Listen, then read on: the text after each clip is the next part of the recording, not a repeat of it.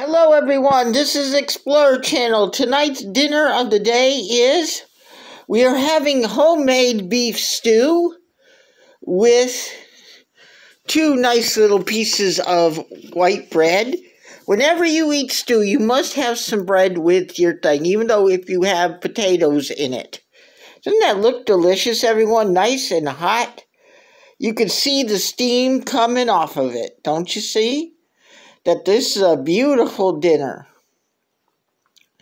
This is what you do when you are taking your time and enjoy your own kitchen.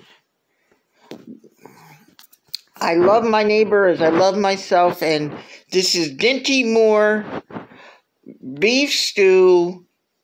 Delicious.